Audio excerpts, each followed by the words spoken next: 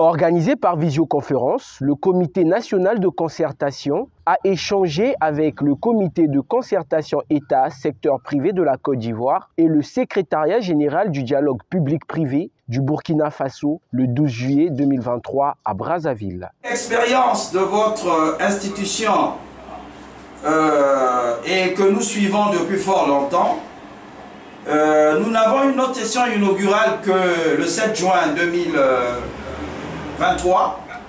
pour une institution qui a été créée en août 2018 par décret présidentiel bien sûr.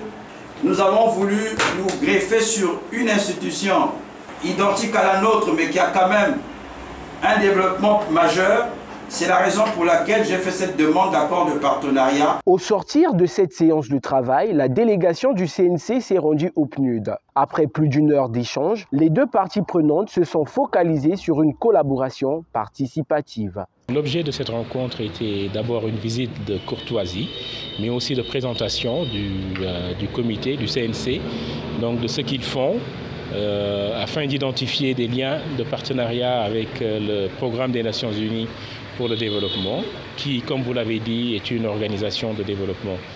Donc euh, nous avons été très heureux d'accueillir ici le secrétaire permanent du CNC avec toute son équipe, donc qui nous a présenté son programme, ce qu'ils ont réalisé ces derniers mois et les perspectives.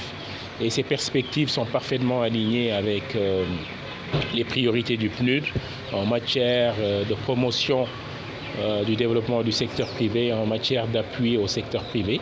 Parce que nous, nous sommes convaincus et je pense que tous les acteurs actuellement partenaires au développement euh, partagent cette conviction. Allons à la rencontre de ces différents partenaires pour le CNC. Le dialogue en faveur de l'amélioration du climat des affaires en République du Congo est une opportunité qui servira de levier pour booster l'économie congolaise tout en rassurant les investisseurs.